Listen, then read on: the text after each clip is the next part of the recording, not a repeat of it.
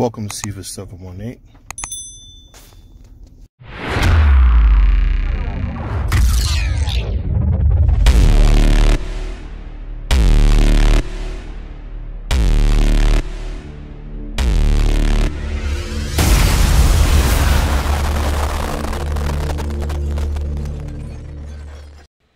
Welcome back to the channel and thank you for all the new subscribers we received lately.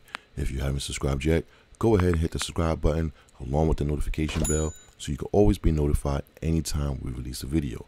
Guys, this is going to be a quick video. I just wanted to give you the update on the new Fire Stick TV OS Max. Now, the last video I did, I did a review and I showed you guys that the third-party applications were not showing the icon. There was a bug in the system, which happened before in the past with the Fire Stick 4K Max. So the good news is they fixed the bug.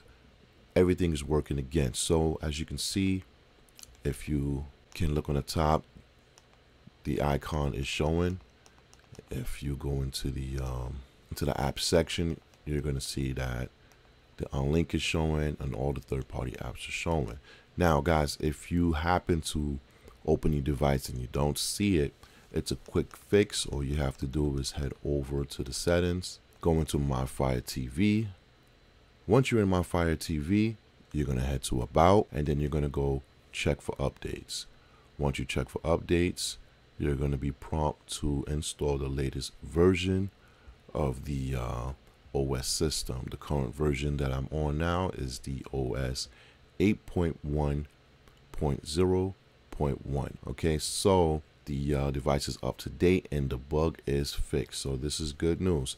So this is just a quick video to let you know that, you know, all the icons are fixed. I'm still utilizing the device.